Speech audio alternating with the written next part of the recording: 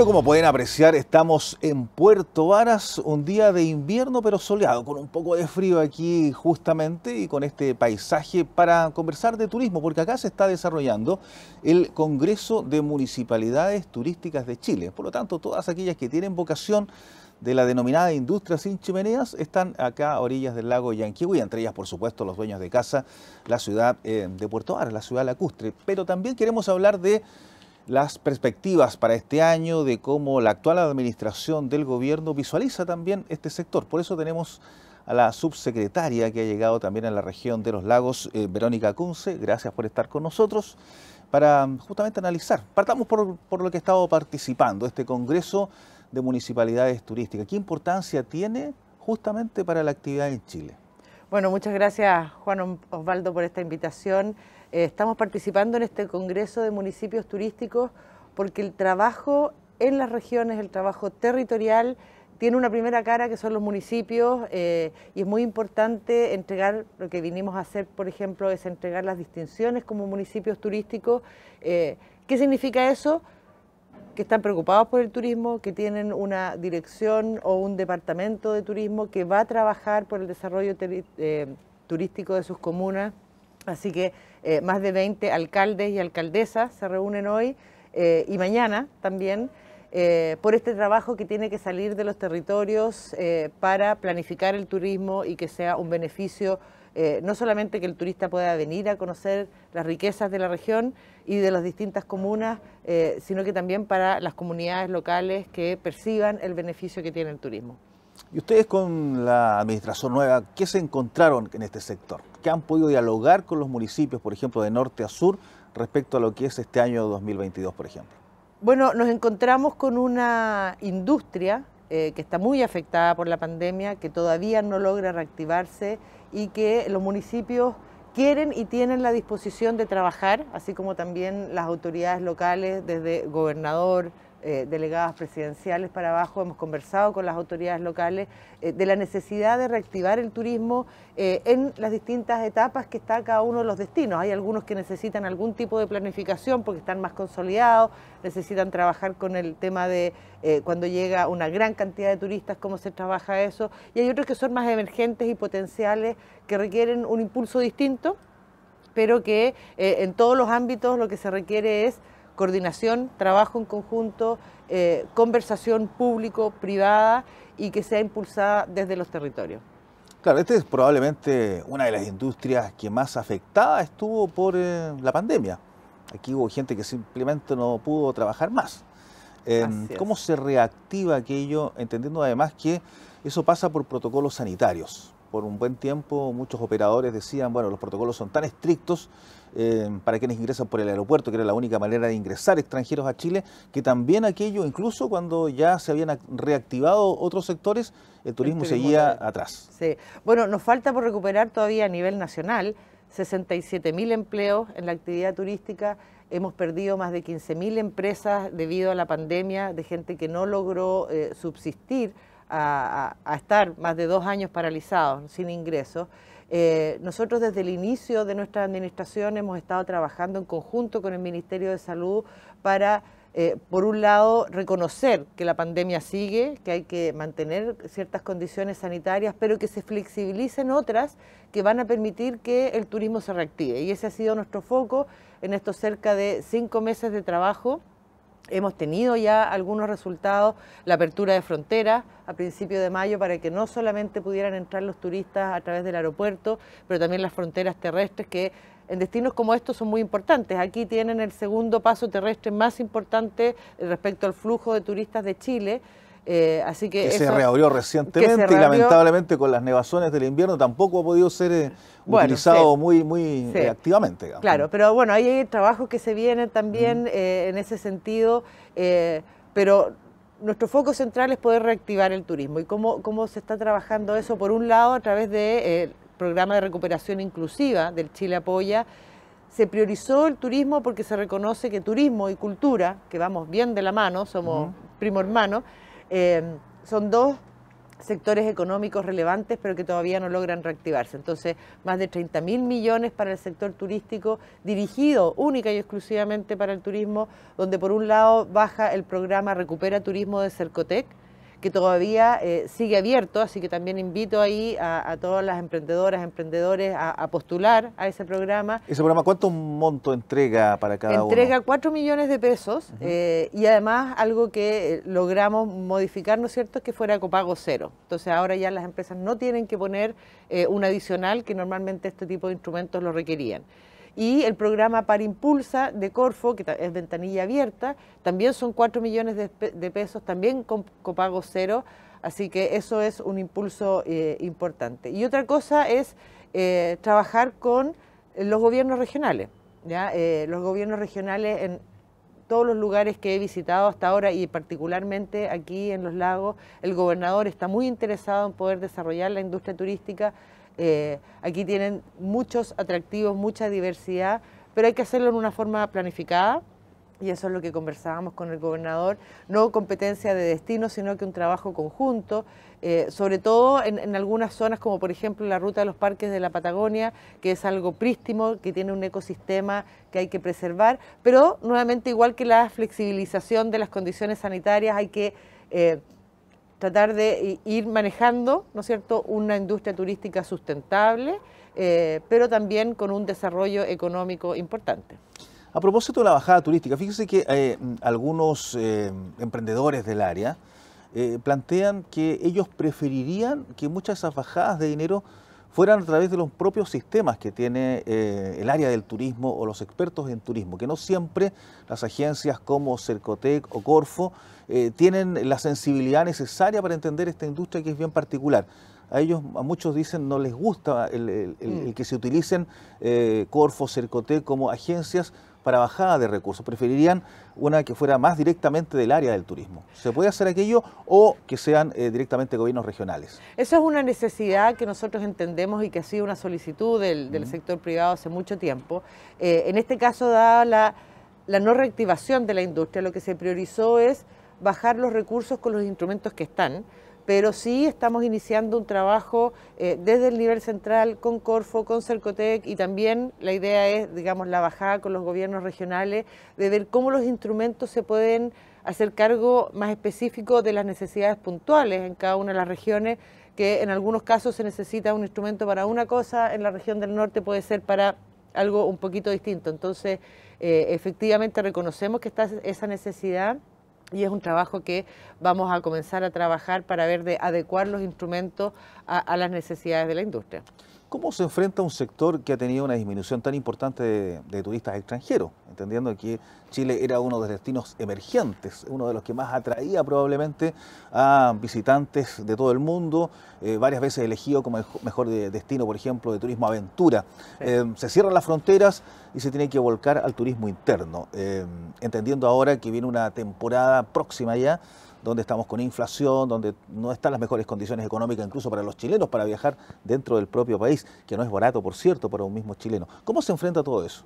Bueno, desde las distintas carteras que están involucradas, nosotros nos rige un comité de ministros del turismo eh, y que vamos a trabajar en las distintas instancias. Ese comité de ministros tiene una bajada regional que son los CEREMI de los respectivos ministerios. Eh, y tenemos que combinar distintas cosas. Uno es la importancia de la promoción, promoción internacional, eh, que vamos a salir fuertemente en el segundo semestre a promocionar Chile. Teníamos promoción, pero faltaba, digamos, mantener un poco que se flexibilizaran las restricciones sanitarias y seguimos trabajando para una de las principales necesidades del sector, que es el tema de flexibilizar la homologación de vacunas, eh, porque cuando lo hemos visto, cuando se abrieron las fronteras, cuando se eliminó la PCR, hay un salto inmediato en la llegada de turistas extranjeros. Entonces, seguimos trabajando en ese sentido y esperamos que el segundo semestre eso ya eh, se pueda terminar y, podamos prepararnos para... ¿Lo último que hay que flexibilizar?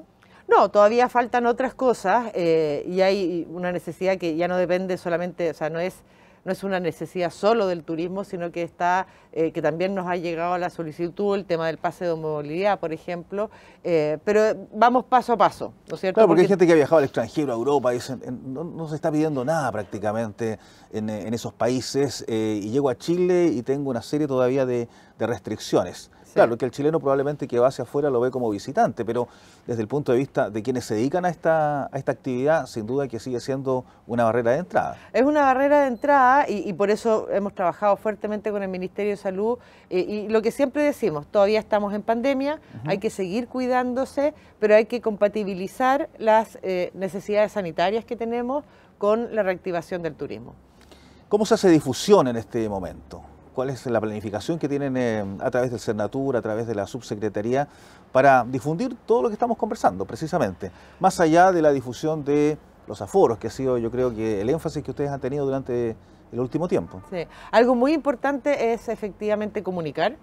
Eh, hoy día, por ejemplo, se abrió Rapanui y habían ciertos requisitos para viajar a la isla, entonces es importante llegar a la mayor cantidad de personas que quieran trasladarse a distintos puntos del país eh, y la difusión es por todos los medios posibles, eh, para todas las edades distintas, ¿no es cierto? Eh, el Instagram, el Twitter, la prensa escrita, radial, televisiva.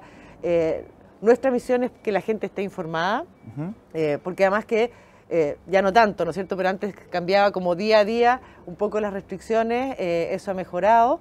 Y, y, nada, informar a la gente para que pueda disfrutar de un viaje, porque si no está informada y llega a algún lugar y hay alguna restricción, obviamente la experiencia que tiene no es la que se desea, no es la que busca y dice, bueno, con estas condiciones, eh, ¿quién quiere viajar? ¿no? Entonces tenemos que mantener a la gente muy informada respecto a eso. Porque el turismo es precisamente experiencia. Experiencia, experiencia. Y la gente lo que, lo que necesita y lo que requiere es vivir una buena experiencia y eso combina muchas cosas. Eh, el turismo es un servicio eh, que trabaja cuando los otros descansan, ¿no es cierto?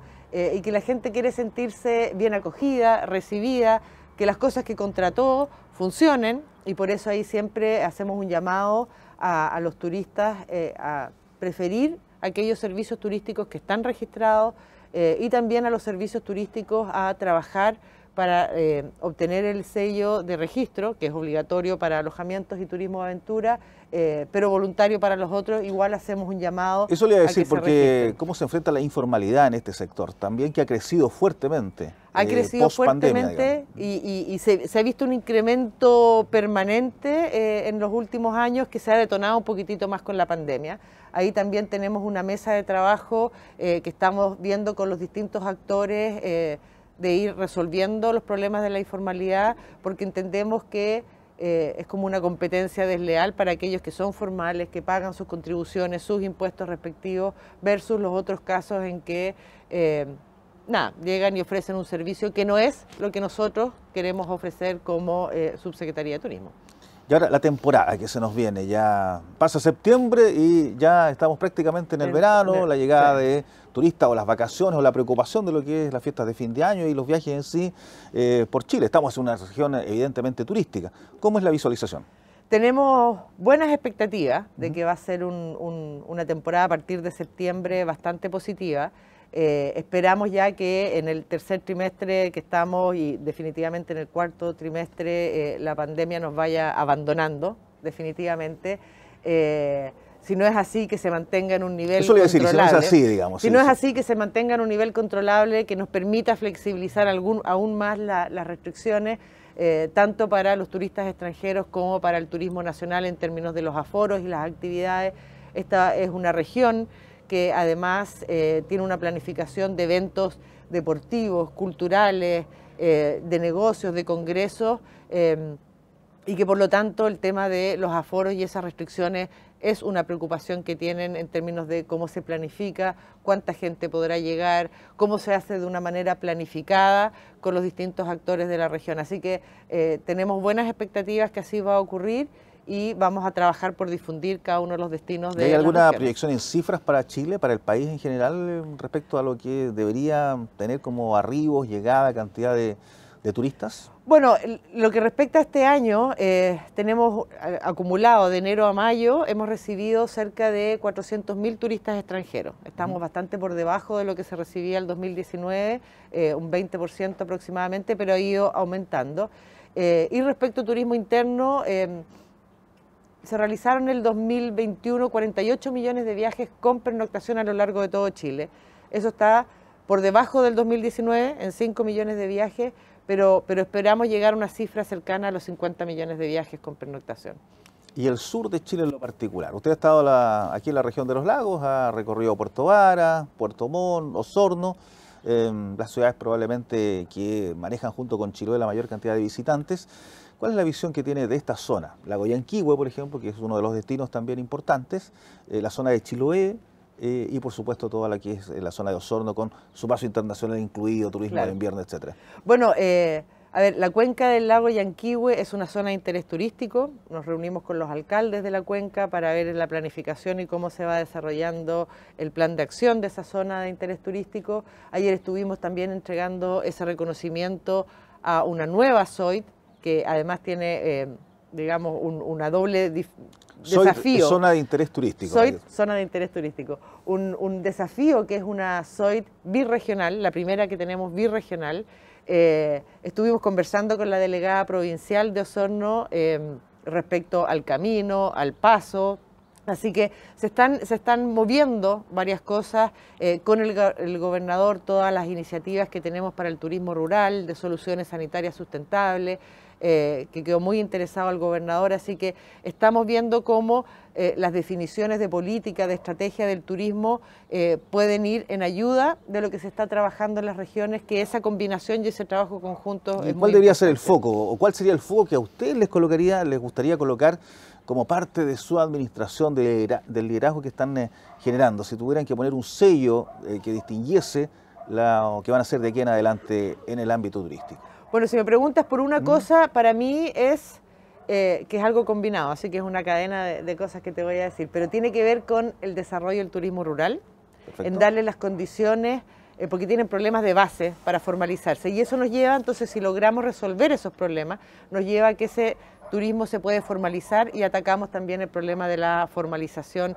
por ese lado y por los dos lados, digamos. Así que el tema de eh, el turismo rural, el turismo indígena, la formalización, parte de los pilares, todo esto también con eh, dos miradas transversales que eh, las tenemos muy plasmadas en nuestro quehacer, que tienen que ver con la sustentabilidad y el, el foco en el desarrollo femenino de la empresa emprendedora femenina, tanto rural como indígena, eh, es muy importante. ¿Cuántas mujeres hay en el mundo del turismo? ¿Hay algún dato, alguna cifra? Sí, son cerca de un 48% de los ocupados en turismo son mujeres, eh, pero si nos concentramos solamente en lo que es alojamiento y gastronomía, ese porcentaje sube a un 57%. Así que es una participación femenina importante en el sector y por eso el apoyo va directo también a buscar un desarrollo con identidad de género del turismo eh, y un apoyo directo a la mujer emprendedora. Bueno, y en esto también hay muchas señales cuando se trabaja en el mundo político, en la administración de gobierno. Me dijeron que usted no se alojó en ninguno de los hoteles grandes acá.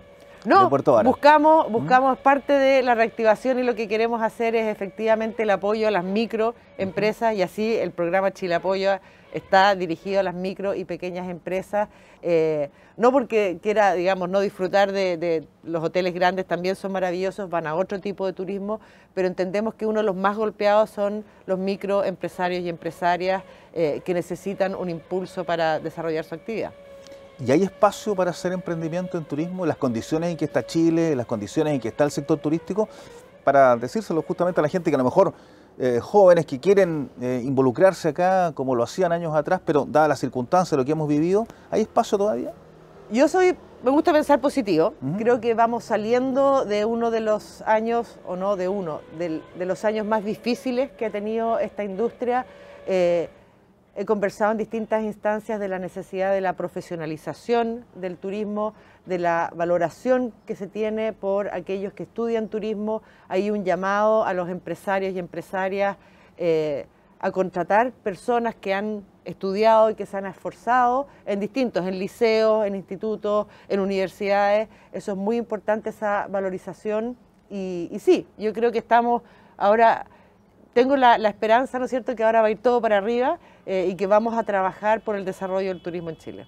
¿Qué le gustaría que estuviéramos conversando si hiciéramos esta entrevista en un año más, por ejemplo, de cómo fue este 2022-2023? ¿Cómo me veo en un año más? Eh, a ver, obviamente que la pandemia ya no sea tema, ¿no es cierto? Ni las restricciones sanitarias, ni, todas las condiciones pandémicas, pero además haber logrado eh, que algo que es muy importante para el desarrollo es la conversación, el diálogo y la planificación del turismo. Eh, porque si uno quiere desarrollar algo, tiene que haber conversado con públicos, con privados, con la sociedad civil, con la academia, para ver cuáles son las necesidades y que desde los territorios se piense, y eso en esta región lo están haciendo, con una mesa de pacto por el desarrollo sostenible de la región, eh, es cómo nos queremos ver en 10 años más y qué tenemos que hacer para lograr ese objetivo de manera sustentable. Entonces, eh, me gustaría que cada una de las regiones eh, colgados, ¿no cierto?, de la Estrategia Nacional de Turismo descentralizada que vamos a desarrollar desde la Subsecretaría, tenga una bajada regional y se pueda trabajar en conjunto los públicos y los privados para ese desarrollo turístico. Claro, porque esta es una, industria que va muy de la mano de, ambos eh, mundos, digamos. Eh, ¿Y hay alguna legislación que mejorar o cambiar en este sector? Bueno, nosotros tenemos la ley 20.423, que es de la institucionalidad del, turismo, eh, donde crea la subsecretaría el año 2010 y que ha tenido los intentos de ingreso, o sea, se han ingresado modificaciones eh, pero que no han avanzado. Y ahora, eh, en, este, en este periodo, nosotros sí tenemos en nuestro programa de gobierno que hacer ¿no es cierto? las modificaciones a la ley de turismo, tenemos que fortalecer la institucionalidad de la subsecretaría, del CERNATUR, eh, pero ahí tenemos que ir de la mano con la ley de descentralización, lo que ocurra con el resultado del plebiscito, que tiene muchos efectos en los territorios y que entendemos que el turismo se realiza en los territorios, entonces vamos a esperar que salgan esas instancias normativas.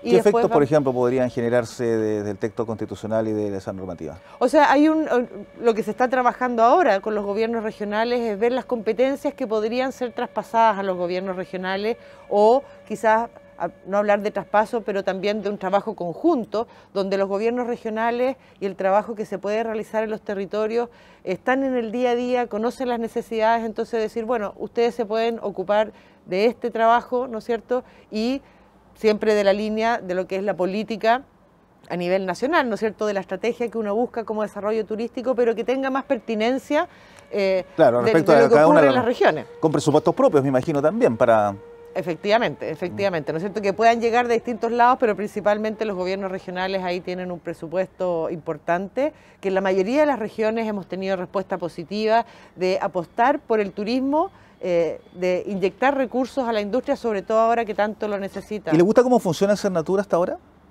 El Cernatur, bueno, yo creo que ahí ha habido un problema por la pandemia. No, es que quiera eh, eh, excusar y meter a la pandemia en todo, pero pero el hecho de que la industria no haya funcionado por más de dos años, obviamente hace que las acciones que eh, el Cernatur podría haber realizado en las regiones se vio completamente aminorado eh, versus otros sectores económicos. ¿ya? Eh, y hay que potenciar aún más las direcciones regionales de Cernatur, que va de la línea con este cambio en la institucionalidad que te mencionaba, de, de fortalecer la industria turística, tanto subsecretaría como Cernatur. Bien, pues Verónica, le quiero agradecer que hayamos estado conversando. No digamos que aquí está caluroso. Claro, nos faltó el cafecito. y un poquito de, temperatura, pero estamos acá justamente en la terraza de este sector en Cabañas del Lago para justamente conversar con la subsecretaria de Turismo de lo que está ocurriendo en esta industria tan relevante para nuestro país, que venía creciendo a tasas muy altas por sobre otros sectores productivos, pero que se frenó, bien sabemos, y no solo ocurrió en Chile, sino en el mundo, a propósito de la pandemia. Verónica Kunze, hasta una próxima oportunidad. Muchísimas gracias por la invitación y poder contarle a la gente lo que estamos haciendo y trabajando eh, con los territorios y a través de los territorios. Bien, pues y junto a ella, que le decimos gracias, le decimos gracias a ustedes también, por supuesto, que son nuestra audiencia aquí en el sur de Chile a través de las pantallas de Vértice TV y por supuesto en cualquier instante nos estaremos reencontrando para seguir analizando lo que ocurre en esta parte del país. Hasta pronto.